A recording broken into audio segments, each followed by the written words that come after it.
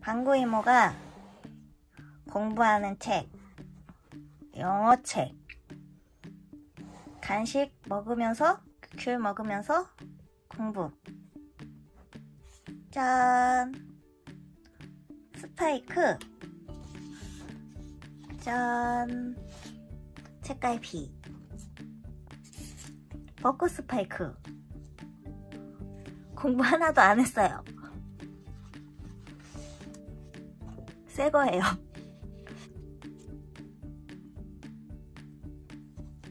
짠. 귀엽다. 간단해요. 책갈피를 만들어 볼게요. 이모! 방구 이모! 스파이크의 가시 미니카. 엄청 커요. 멋있어요. 그리고 이거는 4단 합체. 조금 작은 거, 큰 거, 작은 거. 점, 변신도 하고, 스파이크의 미니카. 빵빵이 스파이크. 스파이크 책갈피를 만들어 볼게요. 일반 색종이 말고 일반 색종이를 4분의 1로 자른 작은 색종이로 만들게요. 그래가지고 스파이크 몸통, 머리 작은 색종이 두 장으로 만들어 볼게요. 우선 스파이크의 몸을 만들게요. 우선 이렇게 흰색이 보이게 하고 네모 접기를 두 번 해주세요. 한 번, 네, 또 펴가지고 돌려가지고 또 한번 네모 접기를 해주세요. 그 다음에 이제 펴가지고 지금 접은 가운데 가로선에 맞춰서 반으로 네모를 접어주고요. 반. 그 다음에 똑같이 위쪽도 똑같이 이렇게 돌려가지고 또 반으로 이렇게 접어줄게요. 이렇게 길쭉하게 만들었으면 이렇게 세로로 길쭉하게 돌려준 다음에 가로선에 맞춰서 반으로 이렇게 접어주고요.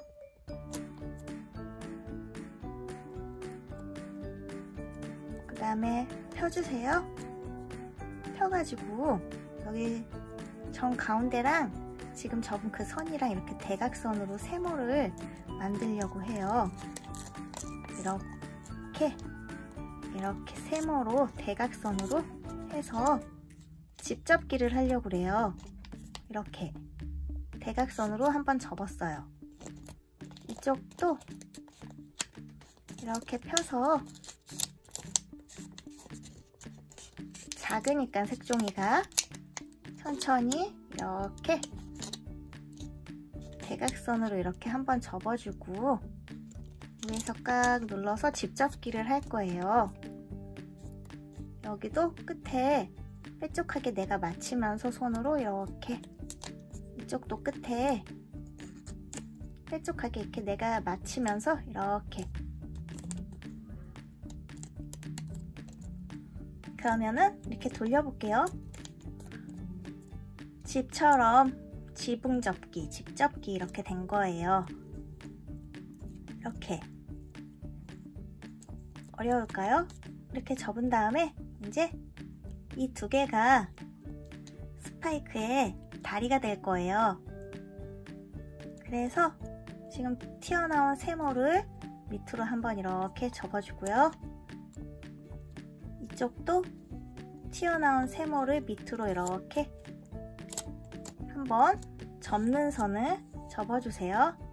그 다음에 다시 펴서 살짝 펴서 지금 접힌 그 대각선에 맞춰서 이렇게 꽃갈 삼각형을 한번 이렇게 접어주세요. 그 다음에 내려주세요. 이게 스파이크의 다리가 되는 거예요. 다시 해볼게요. 살짝 세모를 들어서 들어서 이 밑에 대각선이 있어요. 그 대각선 선에 잘 기준으로 맞춰가지고 꽃갈 삼각형을 하나 접어주고요.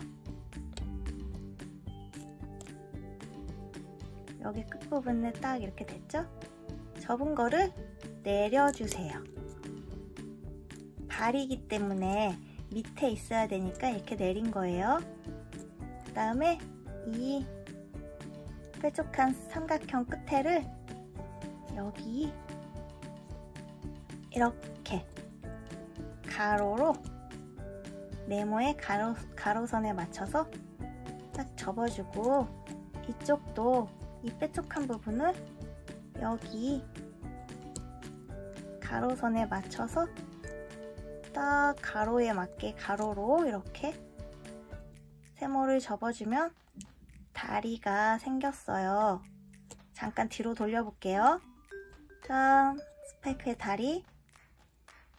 그 다음에 이렇게 했으면 이제 다리를 완성했는데 이렇게 돌려주세요. 위로 오게. 그 다음에 여기 중심선이 있어요. 접힌 선, 중심선. 거기에 딱 맞게 반으로 네모를 한번 접어주세요. 완성! 뒤로 돌려볼게요. 짠! 네모가 됐네요. 네모 이렇게 다리 스파이크에 다리가 있고 스파이크 머리 부분을 세모를 이렇게 접어서 뒤쪽으로 세모를 작은 세모를 접어주세요. 짠! 작은 세모 완성! 스파이크 완성! 눈이랑 입을 펜으로 그려줄게요. 스파이크 중심 접힌 선을 잘 보면서 눈을 동그랗게 그려주고요. 이쪽도 눈을 동그랗게 그려주고요. 입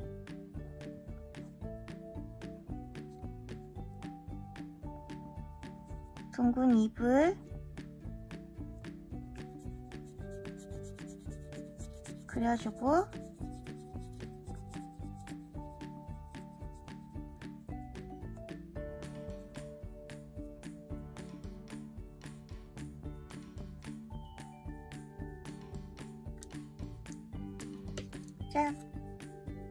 완성! 이제 머리에 빨간 꽃만 만들어 볼게요. 빨간색 작은 네모로 흰색이 보이게 하고 반으로 접어주세요. 다음에 펴가지고 지금 접은 선에 맞춰서 또 반으로 한번 접어주세요.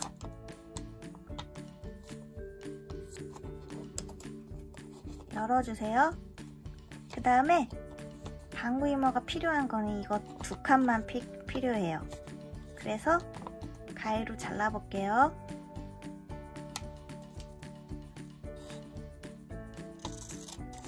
가위 자를 때 손 조심히 천천히 자르세요. 그 다음에 또 하나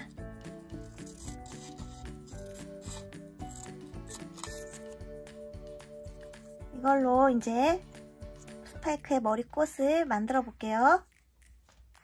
어떻게 하냐면 반으로 이렇게 접어주세요.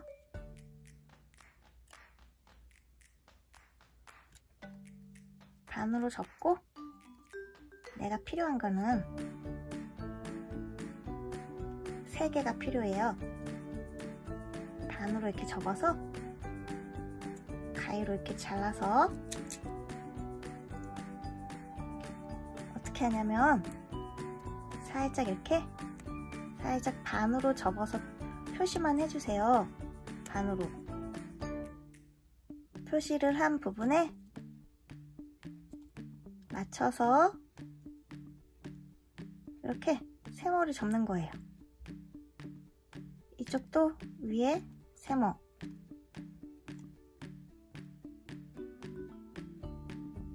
그 다음에 이렇게 꽃이 너무 뾰족하니까 뒷모습 손톱으로 정말 조금 이렇게 해서 정말 조금 이렇게 위를 세모를 뾰족한 부분을 접어서 이렇게 둥글려 주세요.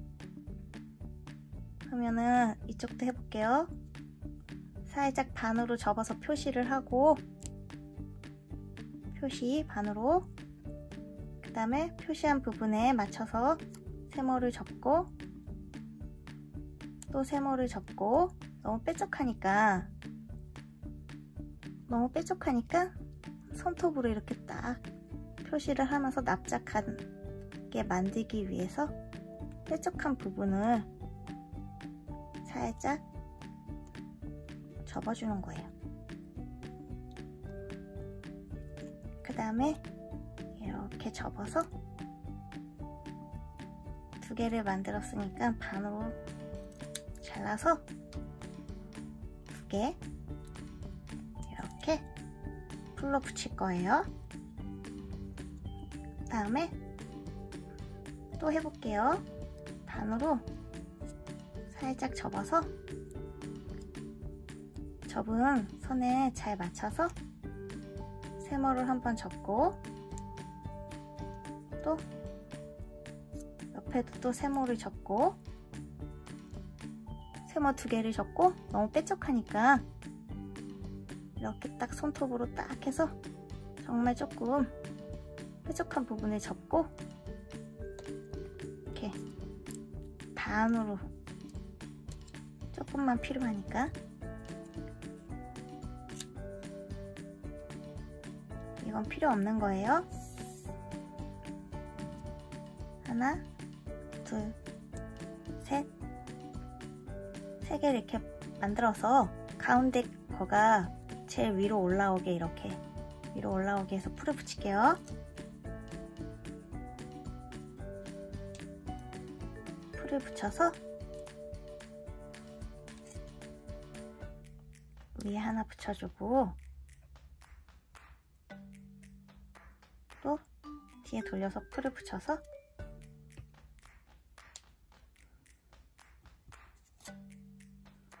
밑에다가 또 하나 이렇게 붙여주고 세 개를 만들었으면 스파이크의 얼굴 나와라. 뿅. 이렇게 해서 풀로 붙여볼게요. 풀로. 꽃의 밑에 부분에 풀을 붙이고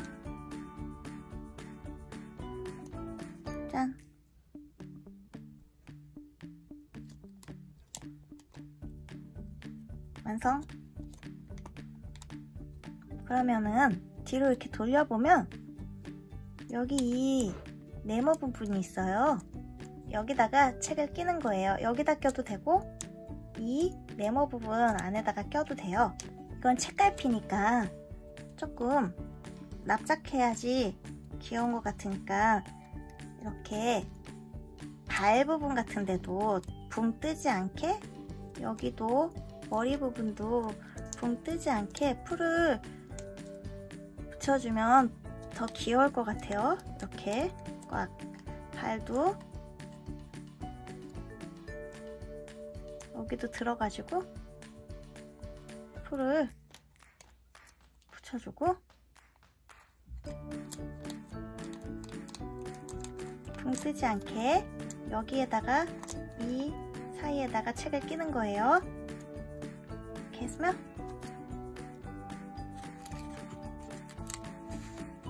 짠. 스파이크의 책갈피. 완성. 여기까지 공부 열심히 하세요. 안녕. 다음 시간에 만나요